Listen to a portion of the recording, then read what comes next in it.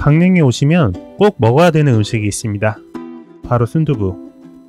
강릉에는 이렇게 순두부 거리가 있어요.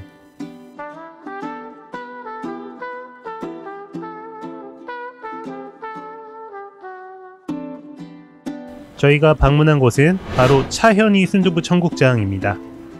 이곳은 허영만의 식객 두부편에 방영된 곳이었고 상차림이 훌륭해 보여서 저희가 방문했습니다.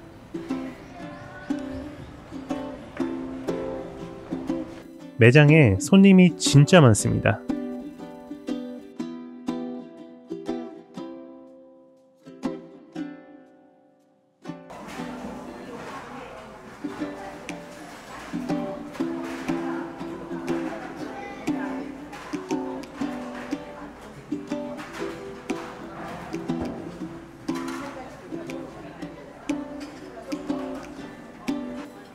저희가 주문한 기본 순두부 전골이 나왔어요. 기본 찬이 굉장합니다. 제육볶음에 생선구이 그리고 두부구이까지 밑반찬이 정말 푸짐해서 상당히 놀랬습니다.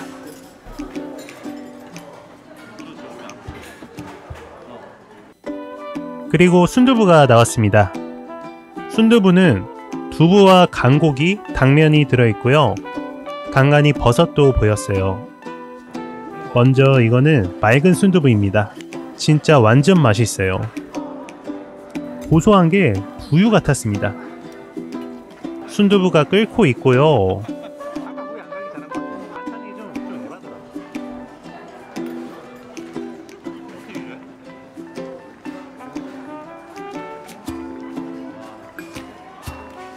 일단 그 맛은요.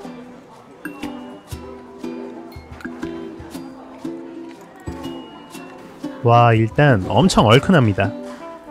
청양고추의 얼큰함이 느껴지면서 두부의 고소함과 고기가 씹히는 아주 맛있는 순두부찌개였어요. 제가 평소에 먹어왔던 알고 있는 순두부찌개 맛보다 1.5배 정도 맛있습니다. 그리고 여기 반찬들이 진짜 맛있습니다. 깻잎부터 시작해서 이 볶은 고추장 끝내줍니다.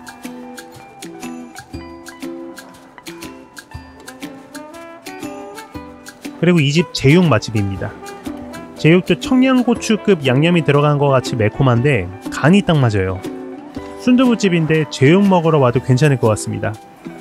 이거 하나만 있어도 밥 먹을 것 같아요. 그런데 이 집의 최고 장점 반찬이 리필이 됩니다. 무한으로.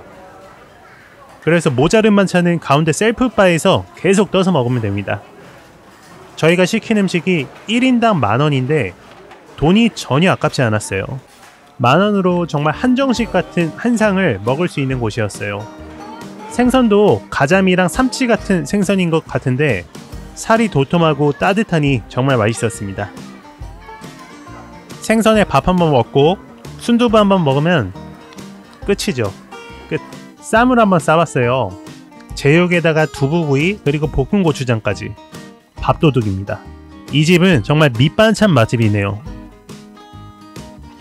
순두부찌개, 제육볶음 등등 전반적으로 우리가 먹어왔던 맛에서 훨씬 더 맛있는 곳이 이곳 차연이 순두부 청국장이라고 생각이 들었습니다. 특히 매운 거 좋아하시는 분들 오시면은 엄청 좋아하실 거예요. 청양고추급의 양념이 들어갑니다. 그래서 조금 매울 수는 있습니다. 이상으로 저는 하이갱스였고요. 강릉 맛집, 강릉 초당 순두부 거리에 위치한 차현이 순두부 청국장 리뷰를 마치도록 하겠습니다. 아 잠깐 바로 건너편에 순두부 젤라또 집이 있어요. 순두부로 만든 젤라또 아이스크림을 파는데요. 이거 진짜 끝내줍니다. 순두부 드시고 무조건 드세요. 무조건 강추합니다. 제가 순두부 젤라또 먹으러 또 한 번 가고 싶네요. 감사합니다.